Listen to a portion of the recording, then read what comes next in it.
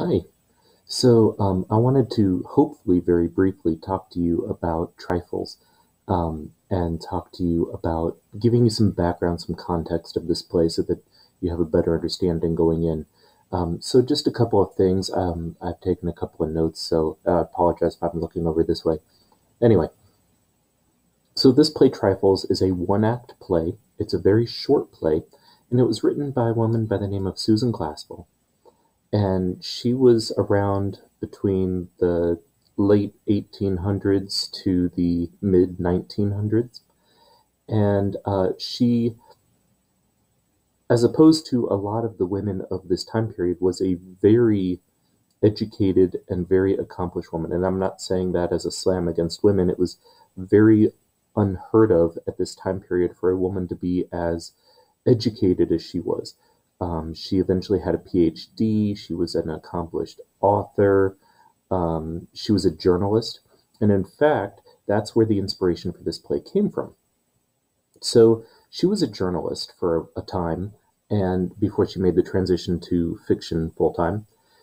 And while she was a journalist, she covered a lot of court cases and crime scenes and things like that. And one in particular really caught her attention. And she spent over a year on this case, really studying it and analyzing it and picking it apart.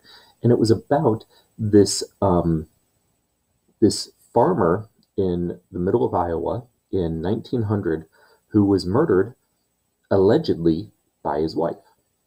Now, um,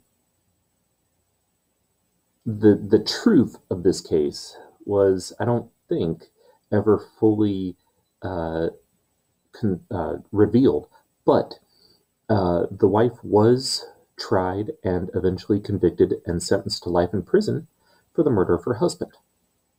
Now, whether or not this, this wife actually did or didn't do it, I don't know. But Susan Glaspell was so inspired by this case in particular and about all of the question marks behind this case and you know pieces of evidence that were ignored and uh, different things that were going on um, because the fact that this woman was a, a woman, uh, that Susan felt compelled to basically write a play uh, in in the vein of what was going on in this story. So here's a uh, a little bit of context for you. So, um, like I said, uh, this was a time period in America. This was before uh, the women women gained the right to vote in the United States. Um, this was before a lot of uh, equality measures were put into place for women. So, for example, uh, women were not allowed to serve on juries at this time period. So, uh, this woman who was on trial was not given a jury of her peers. And these sorts of things didn't sit well with Susan, obviously, right? So, um, also keep in mind certain things like um, there was very little in the way of legal protection for women in the cases of domestic violence and domestic abuse. Um, and women were expected, in large part, to basically just be housewives. Like that was your expectation, your role in life was to be a housewife, to cook, to clean, to take care of the home, to take care of the children, and to basically sit down and shut up. And that again, didn't sit well with someone like Susan Glaspell. So, all of that to say, let's talk about the plot of this play real quick. And so, this play, again, is loosely based on that court case that I was just mentioning. And in this play, you have two central characters, Mr. and Mrs. Wright, uh, which, by the way, the name of the, that couple is very uh, on the nose.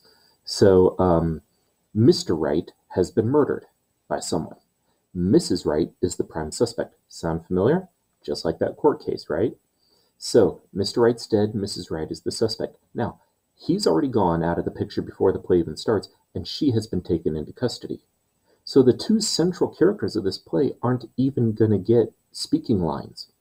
They're just referenced, which is really unique, especially for this time period. So, um, in the house, which this whole thing takes place, this whole thing takes place at the house of the crime scene, the, the Wright's house. And so you have the sheriff, you have the attorney, and you have the next door neighbor all come into the house to investigate the crime scene, and they bring their wives. Now, the men basically are very patronizing and they tell the wives to stay downstairs, don't go upstairs, it's too gruesome for ladies, blah, blah, blah.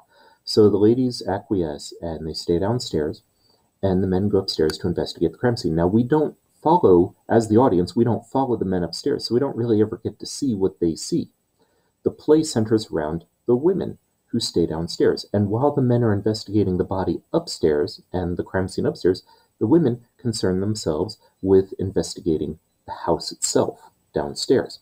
And they find an awful lot of clues as to potential motive and potential, uh, you know, characterization of Mr. and Mrs. Wright that could go a long way to uh, creating a case for or against these parties um, that anyone in today's society would be remiss to avoid. So, anyway, the women pick up on all of these little things and they discuss them.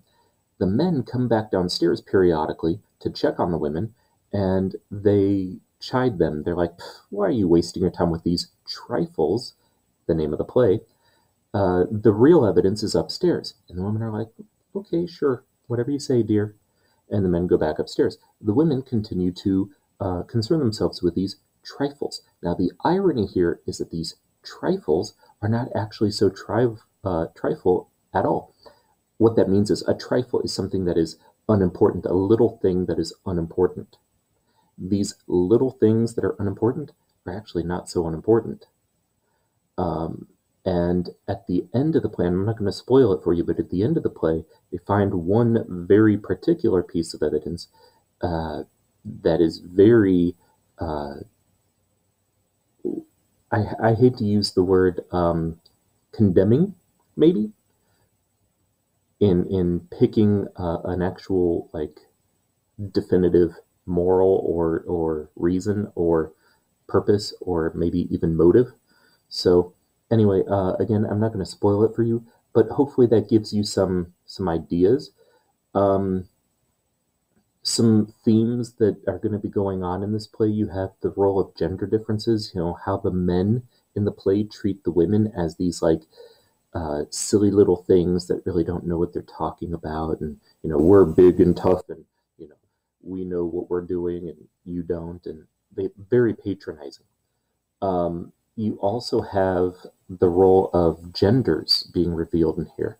Uh, for this time period, uh, very stereotypical uh, behavior by these characters.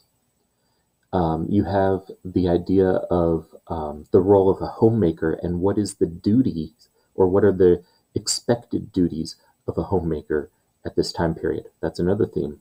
And then last but not least, you have um, isolation and what isolation can do to somebody who is uh, a socialite. You know, what happens to somebody who's an extrovert who's suddenly forced to live the life of an introvert? Uh, and then last but not least, you also have the idea of what is truth, what what is true. And so these are different themes that you might want to consider as you read this play.